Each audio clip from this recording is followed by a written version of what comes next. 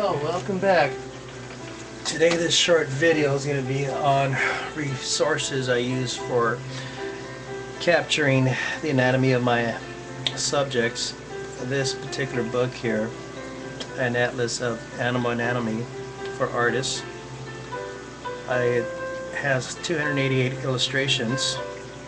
I purchased mine on Amazon.com and it the price on it was roughly about $12 give or take. I think that was a, for a new book. And these are paperbacks. And let me just focus on the dog section of this here. This particular book will have the anatomy of the dog, the lion, the goat, the bull, uh, what else? A few other things. The horse. Um, for this here, let's just focus on this. Let me back this up here quite a bit. Okay, here we go. This is better. Here, you can see it shows you a nice profile of the dog, along with the pattern of the uh, fur.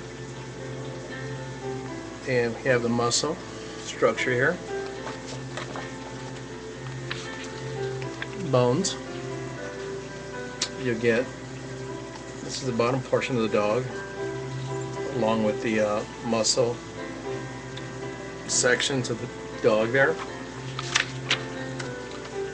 You get a front view showing the muscle mass, along it also with the uh, skeleton, along with the uh, rear portion of it, showing your tail, your set. You get a bird's eye view, the front and rear. It also shows you the uh, detail of the legs, the paws, their claws. Here's some more leg images. You also get a close-up of the paw here underneath. You have the hind and the front. So here's another angle.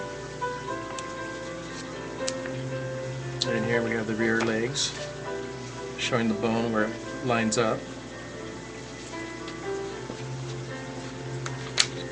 And this is pretty awesome.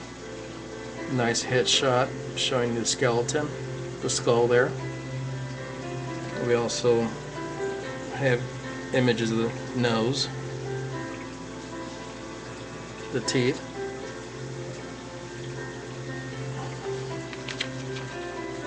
And this one also we have the eyeball the ear set there, what it actually looks like in the inside of the ear there.